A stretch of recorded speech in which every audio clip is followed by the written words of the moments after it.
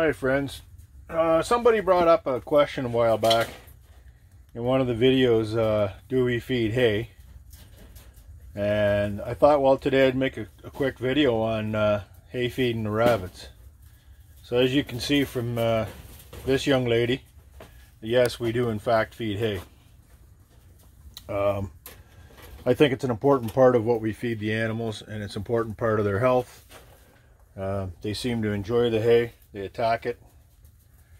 Um, they they do consume most of it. A lot of it gets wasted in these cages, but because they are uh, because they are wire bottom cages, and uh, yeah, so but they do enjoy it, and I think it's important for their health that they get hay. I do feed them greens out of the garden. They seem to really love romaine lettuce, and uh, I give them that. Uh, we're trying to open to some varieties of uh, some different foods to give them. But like I said, they do enjoy their hay. So I just wanted to make that clear that we do feed hay. And uh, yeah. So if uh, if you have any questions about whether or not we fed hay, this this is definitely the answer. And then the last thing that I wanted to get to was the the, spammers whacking us everybody with this this crap about wire bottom cages. Um, I don't have any animals at all with hock problems. Um, not one of my animals shows signs of any sort of issues. We do put resting mats in all the cages, although you're hard pressed to see a rabbit sitting on them. She, she's on hers. But that's about it. They uh, they don't seem to like them. You know, they lie down right next to them. You know, they don't care. Joker's going nuts. Joker, what's the matter, buddy? Hey, you need some attention?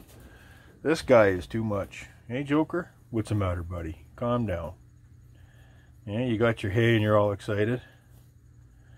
Hey? What's the matter, buddy? Huh?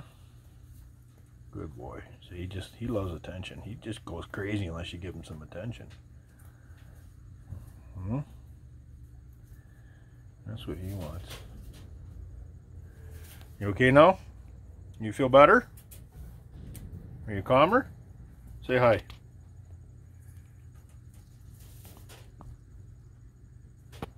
Yeah, he's calmer now. He's like that. He likes to jump around. So fly control. Here's the here's the big bag thing. Stinks like unbelievable.